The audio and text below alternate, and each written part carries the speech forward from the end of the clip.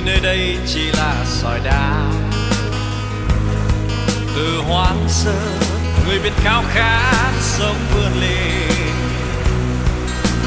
Rồi từ tối tăm, ta đi tìm một ngọn lửa sáng.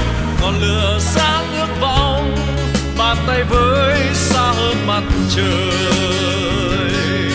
Và ngày nay, khi nơi đây đã nhiều đổi thay từ đây, ta khám phá thế gian muôn màu